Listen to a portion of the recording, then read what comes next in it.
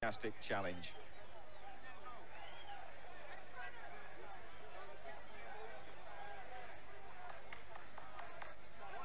I think the weight wasn't a problem for Hearns.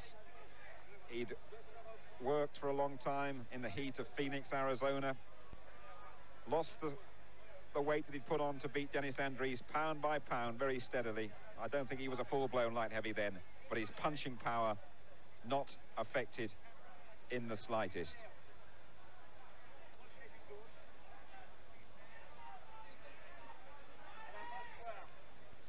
The hardest one-punch hitter in boxing wins his fourth title.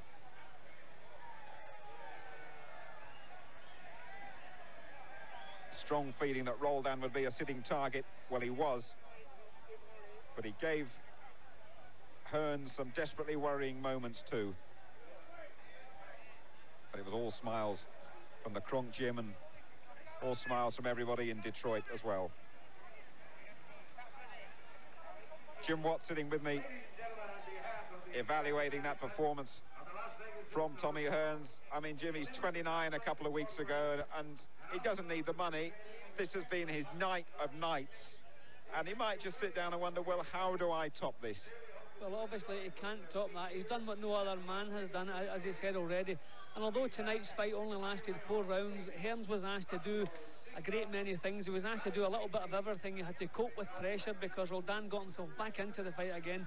He had to take a couple of punches, bang on the chin, real knockout punches, come through those, show a bit of experience, get himself back into the driving seat, and then eventually uh, knock Roldan out with one tremendous right hand. He was asked to do everything He come up with the goods, and now he's the first man in history to win four world titles. He can't really follow that, but uh, I don't see him wanting to retire after a performance like this.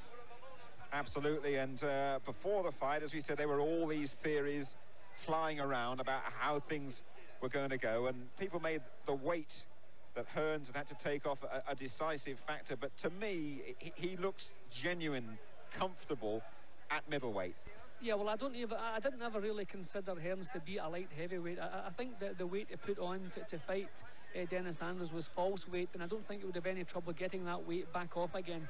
Maybe the last few pounds would, would be a slight discomfort, but all great fighters had uh, some discomfort at the, the, their actual fighting weight and uh, that, that, helps to put you on edge and he looked in tremendous shape he was strong enough to take the, the good punches that Roldan landed so obviously no trouble at the weight and uh, he is uh, I think he'll spend the rest of his days as a middleweight I don't, I don't see him changing it back up to light heavyweight again for any reason I mean they'll all be now as the crowd leave this arena behind the Hilton Hotel here in Las Vegas leave for a bit of celebrating and uh, a night that I'm sure will stretch right through until the beautiful sunrise in the Nevada desert. They'll all be saying, well, what now for Thomas Hearns? Will he persuade Marvin Hagler for one more big hurrah? And will Ray Leonard fool us all again by coming back and having a repeat of their memorable fight? I mean, how do you feel the scenario will pan out, Jim? Well, if uh, Tommy Hearns still needs to find a challenge, the only challenge I can see him finding is to bring back the, the men who have defeated him. Marvin Hagler has defeated him, Ray Leonard has defeated him. Maybe the only thing that would give him pleasure now is to get them back into the ring. Also, they are the only two big money matches for him. So maybe that would give him a challenge. Bring either or both of those men back into the ring to see if he can wipe the slate clean. As I say, that would certainly be a challenge. Jim Watt, thank you very much indeed. So it's been a memorable night here in Las Vegas. I'm sure all of you have got up to watch this fight live, and there's nothing quite like watching it as it actually happens. Will have been delighted that you broke your sleep back in Britain. You've seen a huge chunk of boxing history made by one of the all-time greats, Thomas Hearns from Detroit. From Jim Watt, this is Jim Rosenthal at ringside in Las Vegas, wishing you a very good morning.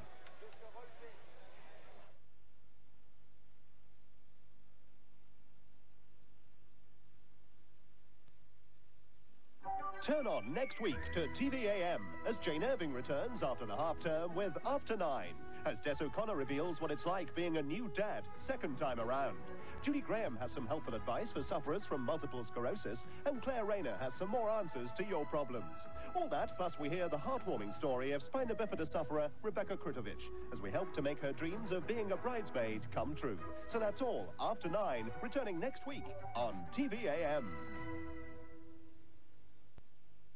Extrovert, cheerful, determined, caring. In this week's TV Times, the people who knew Fergie before she married Prince Andrew reveal her secret strengths as she faces her first television interview. Who's in, who's out, and who's next for the chop in the new Spitting Image series. We also tell you what's next for Dishy Damon as he quits Brookside. And we look at life's ups and downs for Britain's best-loved barmaid. For all this and details of programmes on ITV and Channel 4, get this week's big issue of TV Times.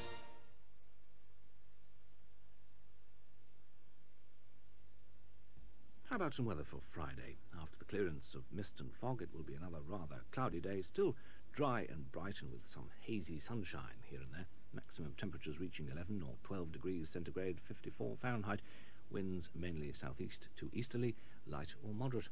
That's the weather forecast.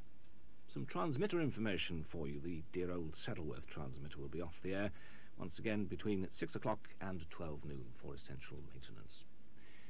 Well, we hope you've enjoyed our late, late Thursday night. You know, you wouldn't get me in a boxing ring for a million pounds. Maybe two million. Well, everyone has his price, but not tonight. From all of us here at Granada, have a fascinating Friday. And from me, especially to you, look after yourself and a very good night to you and a very good morning as well. Here's the clock.